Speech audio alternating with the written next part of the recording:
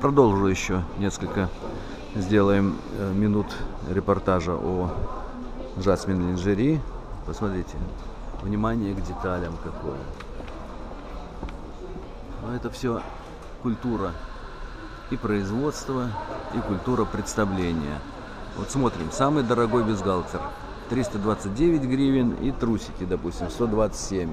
То есть, э, если переводить, э, спроектировать это все на российскую розницу, то такой комплект стоил бы в рознице у нас 1800 рублей.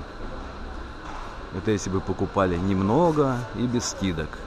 А так, в основном, средняя цена розничная комплекта э, в магазине в российском при стопроцентной наценке 1500 рублей.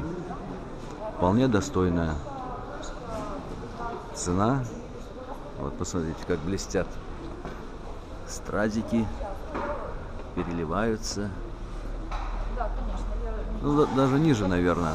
180 и, допустим, 60, 240 гривен, 480 при стопроцентной наценке. Ну, 500, а курс 25 э, доллара. 20 долларов. 1300 рублей.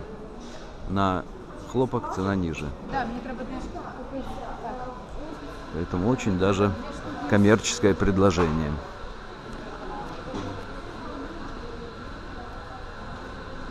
Видите?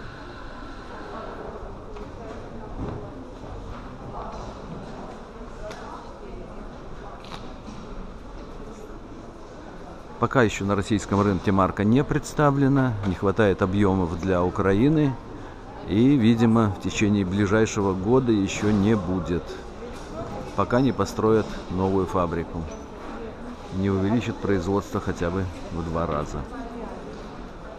Спасибо.